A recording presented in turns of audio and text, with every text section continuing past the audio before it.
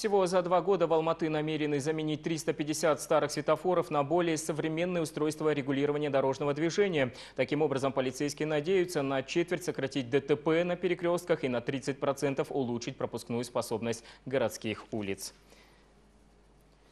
Депутаты сегодня одобрили целый ряд законопроектов. В частности, теперь водителям авто снова разрешат выходить из машин во время остановки сотрудниками ДПС, а красивые номера подорожают. Подробнее в следующем видеоматериале.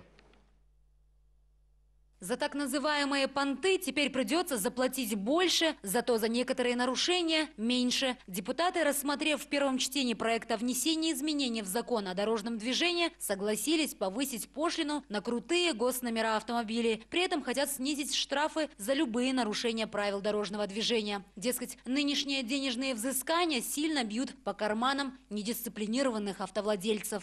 Необходимо понять, наверное, и простых людей.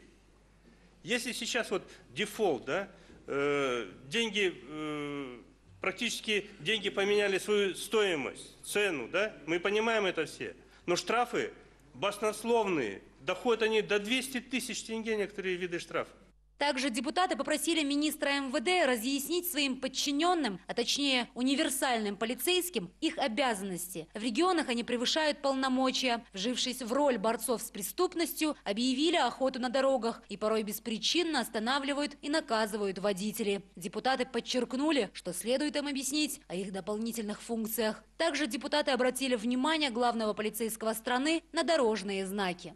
Накажите своих, которые, он же конкретно говорит на Копчага. Значит, кто-то отвечает, наверное, до прокуратуры. Кто-то не поставил знак, значит, этот не доработал, тот начальник отдела или управления, который в Алматинской области, да? Ну, кто-то не доработал, накажите, так вторым больше не будет делать.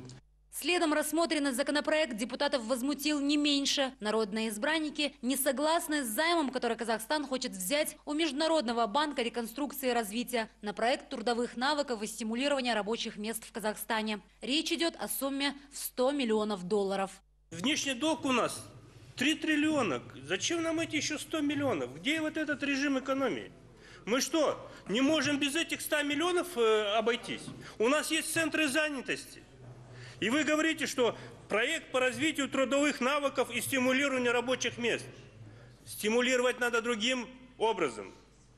Необходимо такие условия дать работодателю, чтобы ему было выгодно брать этих э, работников, обучать их. Я думаю, что если сегодня в реалии в Казахстане мы внедрили трехуровневую систему образования только на высшем уровне, то нам необходимо теперь по всем уровням это говорить и соответ, привести в соответствие наши нормативно-правовые акты со стандартами стран ОСР. Цель проекта – актуализировать техническое и профессиональное образование. Займ Международным банком Казахстану дается на 19 лет. При этом единовременная комиссия, подлежащая уплате, составляет 0,25% годовых от суммы долга. Лязат Сагындыкова, Бауржан Кажаканов, телеканал Алматы.